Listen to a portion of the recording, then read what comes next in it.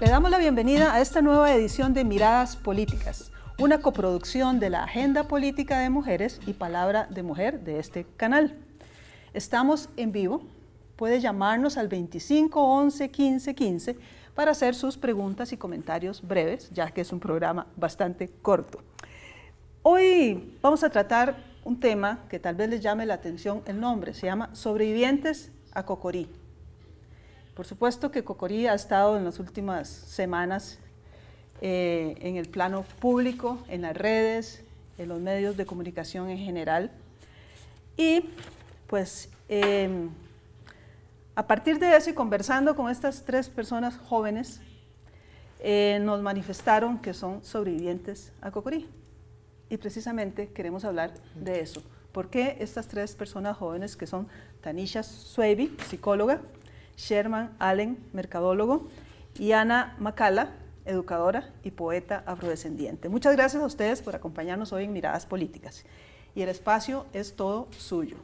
Recuerden 25 11 15 15 para hacer sus preguntas y comentarios sobre nuestro tema de hoy, sobrevivientes a Cocorí. A ver, ¿qué significa eso sobrevivientes a Cocorí?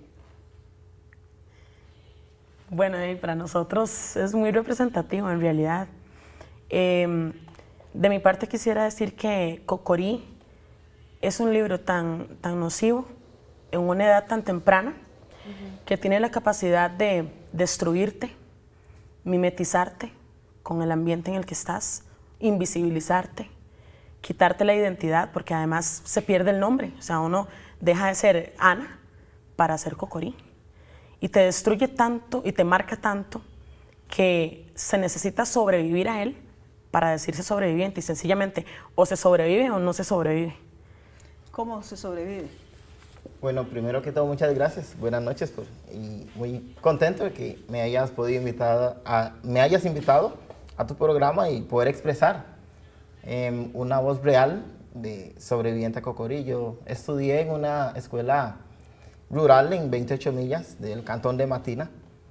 Estudiante de honor que en ningún momento para felicitarme me decían Cocorí, pero para ofender es cuando utilizan el nombre Cocorí. Entonces, el ser sobreviviente, uno le ayuda a tener una mente eh, muy madura para poder contrarrestar los bullying, ahora le dicen bullying, eso es la discriminación, porque uno tiene que tener mente clara y, el, y, tranquilidad para no reaccionar de manera, este, de manera, digamos, grosera como hombre.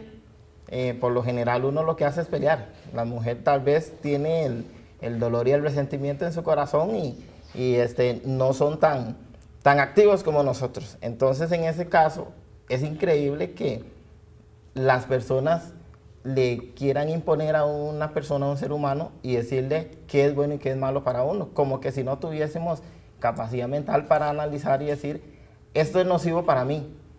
A usted te dicen, vea, no tome una X bebida porque le hace daño.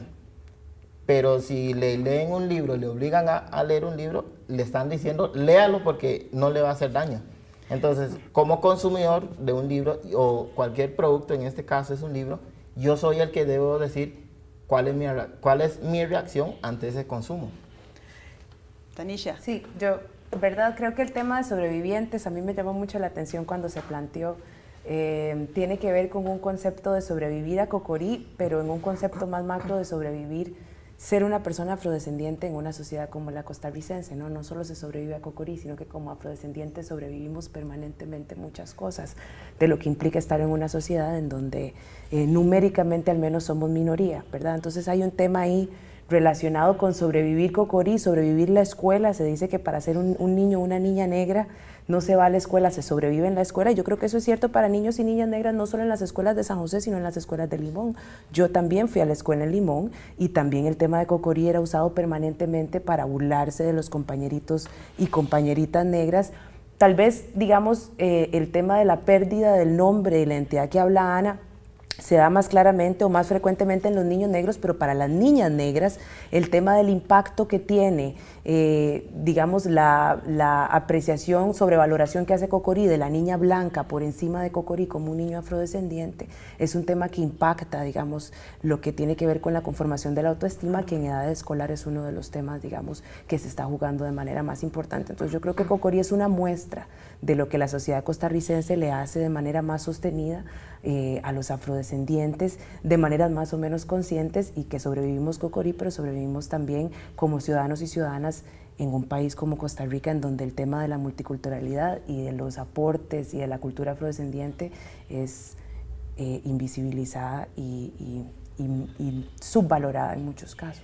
25 11 15 15 puede llamarnos y hacer sus preguntas y comentarios sobre nuestro tema de hoy, sobrevivientes a Cocorí conversamos con Ana Macala, Sherman Allen y Tanisha Swaby, tres jóvenes que en su temprana edad, ¿a qué edad tuvieron que leer Cocorí? Ah, yo lo leí como a los 12 años o 13, más o menos. Sí, es, es, la edad cuando uno está en sexto, quinto grado y este, se lee a esa edad, pero es un, un algo que se lleva durante todo el ciclo educativo, tanto primaria y segunda, porque es lo que las personas pasan de primero o de primaria a secundaria entre la mente y buscan algún tema, digamos, cercano a uno para ofender.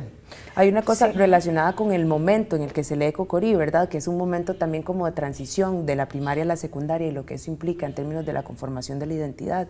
Yo me acuerdo que yo, digamos, tuve la opción, digamos, a mí se me dijo en mi casa que no lo leyera si no quería pero tenía que leerlo porque era parte, en ese momento había pruebas eh, del ministerio para aprobar la primaria en sexto grado y era parte del contenido de lo que entraba en el examen. Era obligatorio. exacto, entonces fue en ese momento en donde se planteó la posibilidad de presentar un recurso de amparo para evitar digamos que yo tuviera obligatoriamente que leer este libro porque este libro iba a ser parte del contenido de los exámenes del Ministerio de Sexto Grado. Ahora, ¿cuál es esa sensación de, de ofensa, de molestia que sentían ustedes y supongo que mucho más personas afrodescendientes, niños y niñas, ¿verdad? Sí, eso tiene que ver también con que Cocorí, eh, el libro como tal, sin, sin, tomar en cuenta lo que la intención del autor y lo que, porque este, este debate además ha perdido mucha altura en la medida en que la gente ha querido decirnos, bueno, es que es literatura y desde la literatura se puede decir cualquier cosa, lo cual no es cierto, porque la literatura es un lugar de enunciación que propicia eh, para algunos sectores academización, cientificidad, oficialidad inclusive. Entonces, el, el, tema de, de, cómo se trata Cocorí en la escuela, inclusive yo tuve una maestra que, que hizo un excelente tratamiento del tema, pero mis compañeros en, en, su momento, pues lo utilizaron para hacer, como dijo ahora Sherman, bullying, ¿verdad? Que, que yo diría que, que el racismo sobrepasa el bullying porque es toda una carga eh, milenaria que tiene que ver con una herencia. Entonces, no es tan sencillo de, superar y además trasciende a lo largo de la historia y del tiempo.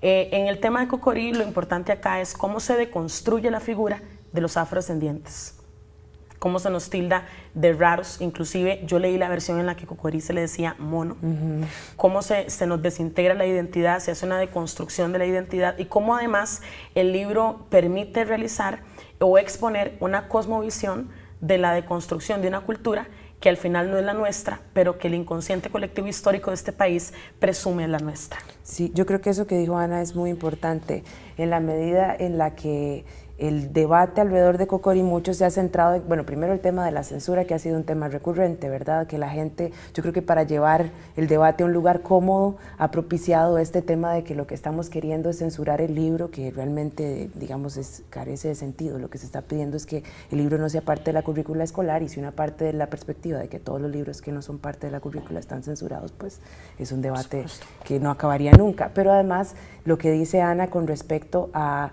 eh, la posibilidad que tenemos como afrodescendientes de representarnos a nosotras mismas o a nosotros mismos en, el contexto de la literatura y el arte y como sociedad, ¿verdad? Y que un poco el tema de Cocori es que es una visión externa de lo que es o de lo que se considera que son los afrodescendientes, además de de que sí, ¿no? Digamos, mucho se ha tratado de llevar a que qué diferencia hay entre llamarle un niño cocorí o burlarse de un niño porque tiene gafas y que todos los niños en la escuela tienen que enfrentar el tema de burlas. es distinto. Es completamente distinto, ¿verdad? El racismo es un sistema estructural que permea diferentes sistemas en la sociedad, Eso es un hablemos un poquito tal vez de lo que es racismo, porque la gente ha, ha tenido una reacción terrible, decir aquí, bueno, siempre se ha creído que este país no es racista, ¿verdad? Y no, hay, no hay una aceptación, ¿verdad? ¿Por qué ustedes vinculan cocorí con racismo?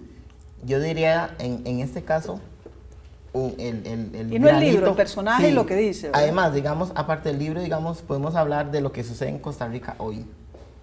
El recurso no solamente lo, lo interponen dos señoras honorables, dos diputadas, Recurso doña amparo. Epsi y doña Maureen. Nadie menciona en todos los escritos doña Sandra Piz. Nadie menciona don, el doctor Atencio, que forma parte de la comisión. Nadie menciona a doña Suray Castillo, que es una diputada. Nadie menciona a don Rolando González. Y Entonces, Solís. y Otón Solís. Toda, toda la concentración va hacia EPSI y doña Maureen. ¿Por qué? ¿Cuál es la diferencia entre ella y los demás?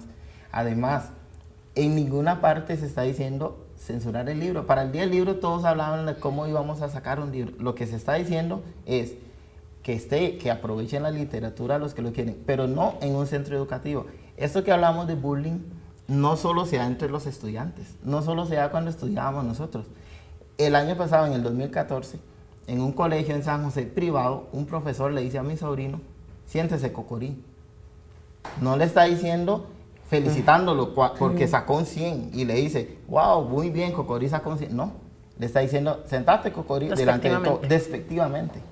Entonces, ahí es donde asociamos Cocorí y nadie se acuerda de la chica de color de pelo rubio y todo eso que estaba en la clase. Y a las personas, digamos, que no son afrocostarricenses, dentro de las aulas no, no lo llaman por el nombre de la chiquita. Específicamente, yo quisiera agregar a lo que está diciendo Sherman que, por ejemplo, como educadora, la perspectiva eh, de, de una etnia por encima de la otra, o sea, si Cocorí eh, admira a la niña rubia y él, además es raro y tiene que admirar esa belleza y está asombrado de ver cosa tal y además quiere emularla, ese es el mismo estereotipo en el cual se ha construido el proceso de literatura a lo largo del tiempo en Costa Rica, en la cual Europa, lo rubio, lo blanco, La Suiza. está- la Suiza está por encima de nosotros. Y entonces en ese tanto, porque cuando hablamos del racismo estamos hablando de una etnia por encima de la otra. Y en el libro está muy claro que la niña rubia está por encima. de- Bien, vamos de a hacer una pausa y regresamos en un momento a, a continuar hablando con los sobrevivientes a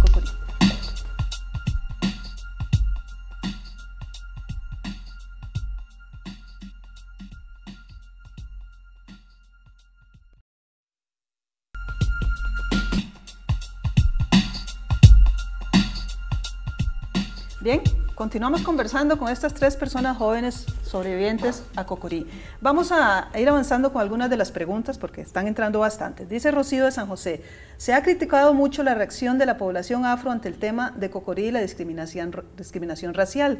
¿Qué le dicen las personas invitadas a estas personas que critican humillando y despreciando el sentir de esta población? Eh, bueno, un poco lo que hablaba Ana, un poco lo que ha dicho también Sherman, no necesitamos que nos vengan a decir cómo hacer una lectura de un texto en particular, Eh, digamos que desde la perspectiva de derechos humanos siempre se sabe que la persona que tiene que denunciar la discriminación es aquella persona que se siente víctima, si fuera eh, de la persona que comete la discriminación, pues la discriminación como tal no existiría, ¿verdad? Entonces nosotros como afrodescendientes, el primer tema yo creo para entrar en este debate de una manera respetuosa es que se entienda que nuestro sentir con respecto al libro y a lo que ha impactado es válido y que no necesitamos que nos expliquen o nos digan cómo tenemos que leer Cocorí para no sentirnos de esa manera, ¿verdad? Co- complementando nada más rápidamente, yo les diría que si pongamos en una balanza lo que es derecho legal y derecho humano. Cuando hablamos de derecho legal, si usted me golpea, una persona me golpea, yo puedo ir a poner una denuncia y decir que me golpearon. Cuando es derecho humano, yo no puedo, no me permiten decir que algo está infringiendo mi derecho. Entonces necesito eh, probarle a alguien que lo que están diciendo me está lastimando. Eso es lo que yo les diré a las personas. El año anterior, en un Congreso Internacional de Inclusividad y No Discriminación y Acceso a la Justicia, impartido por, por el Poder Judicial de Costa Rica, el lema era que la vida que habita en mí reconoce y honra la vida, la vida que habita en ti. Entonces, si yo honro y respeto su vida, deben respetar la vida de las personas cuando dicen que algo les, les daña. Dice Priscila de Punta Arenas, en la escuela tuvo que leer Cocorí y además tuvieron que hacer una dramatización. Ella es de piel morena y tuvo que hacer el papel de mamá Drusila. La hicieron ponerse bombas en el trasero para parecerse más al personaje y la gente se burlaba de ella. Era una niña y no entendía mucho, pero sintió que le dañó la, autoestima, ahora grande ya comprende mejor las cosas. Bueno, de nuevo, es, un, es, un, eh, es un libro que reproduce estereotipos, estereotipos que por lo demás son dañinos, son nocivos. Eh, entiendo que era la Costa Rica de aquel entonces y por lo que hemos tenido que vivir los compañeros y yo en redes, pues entiendo que es la Costa Rica de hoy. Eh, sin embargo, considero totalmente ese entonces es como este. Es, entonces es ahora y considero que es completamente... Em, no, no, tiene ningún sentido que tengamos que reproducirlos ahora. Además, quiero enfatizar en que en el caso de la mujer afrodescendiente hay toda una serie de estereotipos que van desde su, desde su sexualidad hasta la forma en que se conduce, eh, su cabello, por ahí algunos comentarios. Creo también que, que, es un sentido de respeto el que, el que tenemos que tratar aquí ahora. Y en efecto, si le dañó la autoestima, como ella dice ahí, la entiendo completamente. Además de eso, eh, la mamá Drusila es como la deconstrucción de la madre afrodescendiente, es la madre violenta que pasa golpeando el hijo, que no lo aprecia. Y la cultura nuestra en realidad es una cultura cálida donde mamá te enseña cuánto vales. Bien, Roger de Guadalupe dice, el negro siempre ha sido una raza orgullosa, una población que se aprecia y respeta. Ese orgullo los ha matado. Pregunta además por qué se, se alisan el pelo, es una especie de renegación de su raza o puede verse así. Bueno, eso es igual que, que cualquiera que tiene pelo rubio se lo tiñe rojo. O sea, me parece que está totalmente fuera de contexto, en realidad. Este, al hacerse no el cabello es sencillamente una cuestión de moda, no tiene nada que ver con... Eso me recuerda, hace, hace unos meses tuvimos un programa en que participó una joven indígena, estudiante de Derecho que vive en San José, y, y, le, y le decían, pero no parece indígena. Sí, bueno, hay un tema también de la, sobrevaloración y que tiene que ver mucho con lo de Cocorí, ¿no? De la sobrevaloración de los rasgos eh, no afrodescendientes como temas relacionados con belleza. Y yo creo que como mujeres negras hemos escuchado muchas veces que somos bonitas aunque o a pesar de nuestra negritud. Tiene que ver con eso. Dice Junior de Alajuela, no ve por qué le dan tantas vueltas al tema de Cocorí. A él le gustó Cocorí cuando lo leyó, no ve por qué dan tanto de qué hablar. El tema de Cocorí es un héroe que no se cansó de luchar hasta el final. Ver racismo a, perspectiva de cada quien. Si se quiere leer un libro como racista, se leerá desde ahí. Bueno, yo quiero agregar que, por ejemplo, en un ensayo que hice hace unos días, le decía a la gente, en los próximos cinco segundos piense en, en una persona china, un indígena, un negro y una persona blanca, por usar el término, pero no es el correcto. Mestizo. Mestizo y piensa en un animal para identificarlo. En los próximos cinco segundos ya la persona habrá pensado para el negro en mono, en congo y otros, eh, otros adjetivos más. Entonces, la animalización del negro, de la persona negra, porque es que nos animalizan. Es decir, si yo leo un libro donde a un niño se le dice que parece un mono y me parece que no es racismo, o sea, entonces, ¿qué es racismo? ¿Hasta qué punto hay que llegar? ¿Será que tenemos que ver sangre? ¿Tenemos que tener un muerto por semana como en los Estados Unidos? O sea, ¿hasta qué punto? Marlene de Tibás dice, es una mujer blanca, familia blanca de ojos claros. Tiene un hijo mulato y cuando él tenía tres años andaba en un lugar de comida rápida y una niña que tenía una edad similar a la de él le comenzó a decir cocorí. Y la gente que estaba comenzó a repetir. Ella fue a hablar con el papá de la niña que no la corregía o, no le llamaba la atención, pero el señor le dio la espalda y la dejó hablando sola. Estuvo casada con el papá del niño y fueron víctimas de discriminación. Hasta pedrada le dieron. Una vez el racismo en Costa Rica es terrible. Un sobreviviente. Yo digo que otro, sobreviviente, otro, sobreviviente. A muchos les duele o les molesta el tema. Lo que nosotros estamos dando a entender es que un libro que se está obligando o se está poniendo para que en las escuelas lo puedan interpretar, que sea apreciado en, en otro punto, en otro lugar, donde las personas estén preparadas, donde se pueda dar un debate y explicar. En la mañana estaba escuchando a don Quince Duncan donde daba un examen que se le hizo a varios niños después de que le leyeran el libro Cocorí.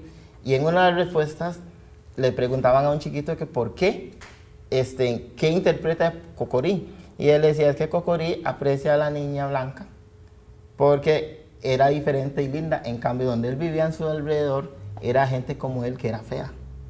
Entonces, ese es el concepto que le reciben. No es que, digamos, se tenga complejo de inferioridad.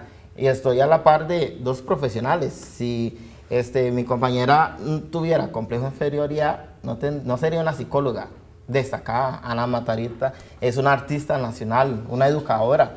Yo tengo una maestría en, en administración de empresas y en varias otras que no tengo un complejo de inferioridad, pero no me puedo quedar callado porque no quiero que las, los otros jóvenes tengan que vivir, digamos, por lo que yo viví. Nuestra, nuestro país y nuestra sociedad es muy joven. Tiene que llegar a madurar al igual que otras sociedades en otros países. Por ejemplo, yo no tengo un complejo de inferioridad al salir de Costa Rica porque sé que soy minoría. El problema sea cuando otros que en Costa Rica son mayoría salen y en otro país los discriminan porque son minoría. Entonces, ahí es donde se dan cuenta que lo que decimos los afrodescendientes en Costa Rica tiene sentido, porque acá se sienten mayoría, pero a nivel mundial igual no, es, no son mayoría. Bien, vamos a hacer de nuevo una pausa, regresamos en un momento.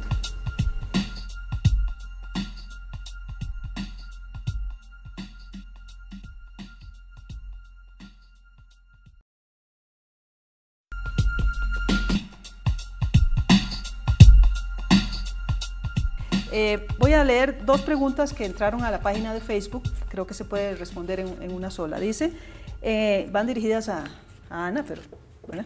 Dice, ¿en qué cree que nos beneficiará la censura del libro Cocorí a los afrodescendientes de este país? ¿Y considera usted que el libro Cocorí sea nocivo para los niños como lectura obligatoria en el programa del Ministerio de Educación? ¿Por qué? ¿Pueden... Bueno, en el caso específico de, de la censura, sencillamente nosotros no estamos pidiendo que se censure el libro. Entendemos que hay libertad de, expresión y no estamos pidiendo que el libro se censure. Lo que estamos pidiendo es que se cambie de escenario. Es que acá, eh, compañeros, hay un problema del lugar de enunciación. Entonces, cuando el Ministerio de Educación Pública promueve una lectura de estas, contradice todo, lo, todo el trabajo que ha hecho, por ejemplo, en tema este, de la sana convivencia, porque un libro de estos no propicia la sana convivencia. Un libro de estos lo que hace es darle argumentos a las personas que ya tienen estereotipos para maltratarse. Además de esto, porque un niño de repente no tenga la posibilidad este, o las herramientas necesarias para descontextualizar, para comprender el entorno en el que se desarrolló el libro y es por esto que estamos proponiendo no que se censure, que lo pueda leer cualquier persona en cualquier lugar, en el patio de su casa, en la sala, no desde un centro académico y no para niños. Sí, no está prohibida la venta ni la lectura. No, para, nada, para nada. Dice Fanny de San Pedro, no está a favor ni en contra del libro Cocorí, es blanca, su hijo es mulato. Le preguntó a su hijo y se siente ofendido por ser llamado coquería. El niño dice que no se debe inculcar en las, en las casas que el racismo ya no se debe dar. Ella como blanca se puede sentir ofendida si le llaman paña entre personas afros, palabra que se utiliza cuando a un negro le gusta una blanca. El racismo debería ser detenido. Yo creo que ha habido un tema aquí en Costa Rica con, digamos, con relación a la aceptación de, de la existencia del racismo. En la medida en que cuando una persona denuncia el racismo, automáticamente se convierte esa persona en la racista, porque hay como una falsa sensación de homogeneidad de la sociedad costarricense en donde todos somos muy iguales y, de alguna manera eh, poner estos temas de manifiesto es tomado de manera eh, muy negativa por la mayoría de costarricenses que no quieren reconocerse en ese espejo, ¿verdad? Entonces, en ese sentido, eso es lo que hemos sentido o visto mucho en los últimos días. Cualquiera que hace una denuncia con relación al racismo automáticamente se convierte en el blanco de, exactamente, de que las personas le llamen o lo tilden de racista. bueno, si, si, todas las personas fuéramos iguales, no habrían derechos humanos, creo. Exacto. todas las personas nacemos iguales en dignidad y derechos. Pero, pero la diferencia no es algo malo, la diversidad no es algo malo tampoco. por mi trabajo también he podido ver cómo cuando hay minorías que reclaman su derecho, la, mayoría o, los que son dominantes lo rechazan. Vemos el caso, digamos, en Costa Rica es un país machista. Eh, tengo la oportunidad de estar con una... Pero no se admite que es machista, ¿verdad? No, yo crecí en una familia donde habemos igual cantidad de hombres, igual cantidad de mujeres. Yo respeto a las mujeres y, y todo, pero vemos cuando en la Asamblea Legislativa viene un proyecto que beneficia a la mujer para equiparar las condiciones, se ve la no quieren votarlo. Entonces. Así es. Voy leyendo porque ya estamos contra el tiempo, ¿verdad? Dice eh, Robert de San Carlos, tuvo muchas amistades y compañeros de colegio negros. La pregunta es por qué insiste en arrastrar esos complejos de inferioridad. Eh, Rocío de Tibás dice, ¿será el problema el racismo costarricense o el libro de Cocorí? ¿Cuál es el punto de partida? Yo creo que el libro de Cocorí, es, una, expresión de cómo se manifestaba en aquel momento el racismo costarricense. Y además es un precedente de racismo. Negativo. Recordemos que también el racismo es estructural y que, y que aunque alguien quiera escapar a él, no puede. Aquí dice Luis de la Juela algo lo que ya ustedes estaban manifestando. Una vez un especialista sobre el racismo que decía que el verdadero racista es el negro y no el blanco. O sea, Sí, lo que pasa es que el racismo tampoco, tampoco es una cosa tan sencilla como decir esto es racismo o no, ¿verdad? Ha habido una serie de construcciones académicas y, una construcción, digamos, elaborada de lo que es el tema del racismo y tiene que ver con un, sistema de dominación ideológico en donde no es tan fácil después decirle que el oprimido es el opresor. No es tan sencillo como decir revertirlo, revertirlo de una manera tan automática. Dice Luis de Alajuela, es unánime el pensamiento de tener el racismo. Lo que no se entiende es que haya que cercenar el arte. No estamos cercenando el arte, de nuevo Cualquier persona puede leer el libro de Cocorí en cualquier parte del país y donde quiera leerlo. Sencillamente es un tema del lugar de enunciación porque la literatura vista desde la perspectiva del Ministerio de Educación Pública y, acreditada por esta, sencillamente reproduce los estereotipos y los oficializa. Es todo. Dice, claro que Costa Rica, el llamado país más feliz del mundo, es un país racista, pero un racismo como sutil que cuando sale lo hace con fuerza. Iván de Cartago dice, el momento que se denuncia un racismo se convierte en racismo. Creo que eso se está viendo desde un lugar muy personal. Con la eliminación de un libro no se eliminaría el racismo. Se nos acabó Efectivamente el tiempo. Muchas gracias por estar acá en Miradas Políticas y espero tener otra oportunidad para que sigamos conversando y sigan ustedes hablando de este tema. Muchas gracias. Gracias. gracias